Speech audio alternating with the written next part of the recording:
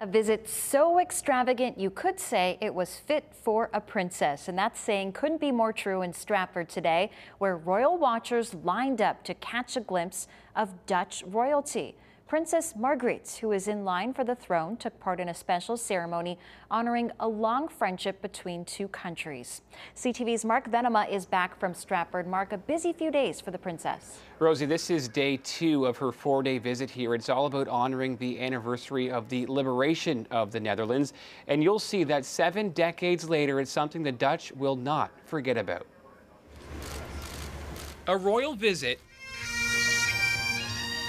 with a Dutch twist. The Dutch members of our community are quite proud of their heritage. And that pride was certainly on display in Stratford. From the orange in the crowd to the waving flags. Everyone here hoping to catch a glimpse of royalty. I really wanted to see the Dutch princess and I wanted to learn more Princess Margriet is a member of the Dutch royal house and eighth in line to the throne. She was actually born in Canada, as the Netherlands was occupied by Nazi Germany during the Second World War. Hollanders hail the harbingers of freedom. In 1945, Canadian troops helped liberate the Netherlands. A friendship was forever forged. If it wasn't for the Canadians, I wouldn't be standing here today. Yes, amen. They saved us.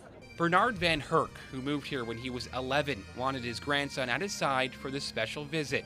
Both of them brought tulips for the princess. It was the best moment of my life. Really? And I'll never forget this. Now, this area has always had a strong connection with the Netherlands. In this riding of Perth Wellington, the third most used language is Dutch. Stratford played an integral role during the Second World War as hosting a barracks for the Dutch Army.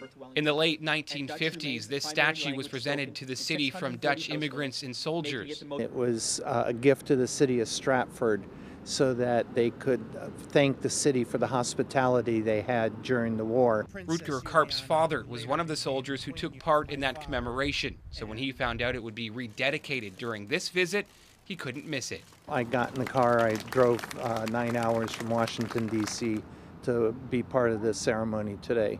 Proof that this was so much more than just a royal visit. Canada welcomed uh, our family. It was two countries renewing a strong friendship that dates back seven decades. And the princess had lunch at the Stratford Festival today before taking off for another visit in Goderich. Rosie. Thanks, Marc.